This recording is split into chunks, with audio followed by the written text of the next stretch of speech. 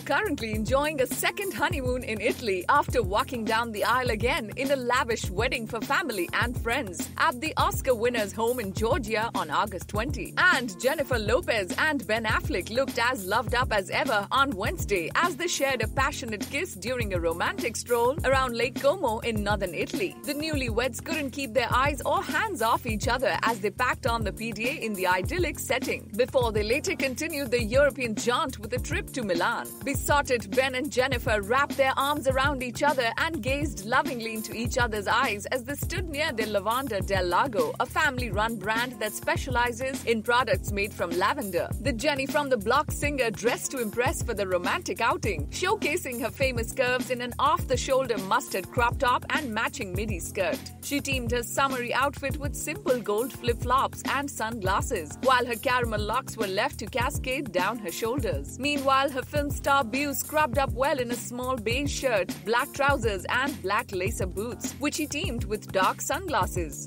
During their stay in Lake Como, the couple have been residing at pal George Clooney's stunning mansion nearby. Following their trip to Lake Como, the couple headed off to Milan, with the two looking the picture of newlywed bliss during a shopping on Thursday. The glamorous couple created a photographic frenzy as fans pulled out their cell phones to record their brief encounter with the celebrity couple, who seemed to take the attention in stride. The Let It Be Me singer flashed a brilliant smile as Ben led her through the crowd. Subscribe to our channel for the latest on your favorite celebrities. Like, comment, and share, and don't forget to press the bell icon for notifications.